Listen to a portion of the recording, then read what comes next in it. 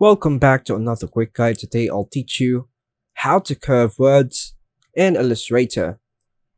Curving text around a circle is a common technique used for logos, badges, labels, and more.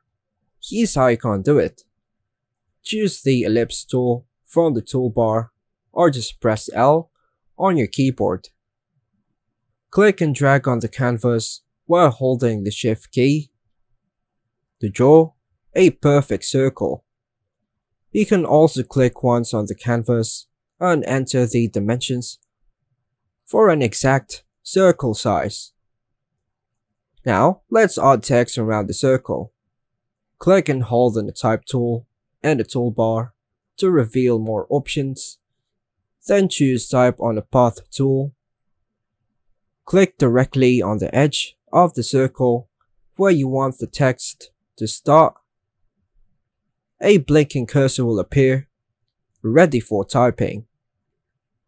Enter the text you wish to curve around the circle.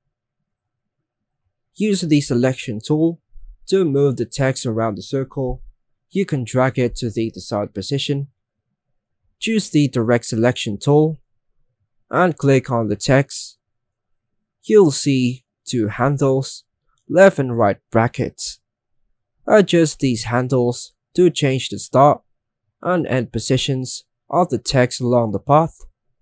Now, let's adjust text spacing.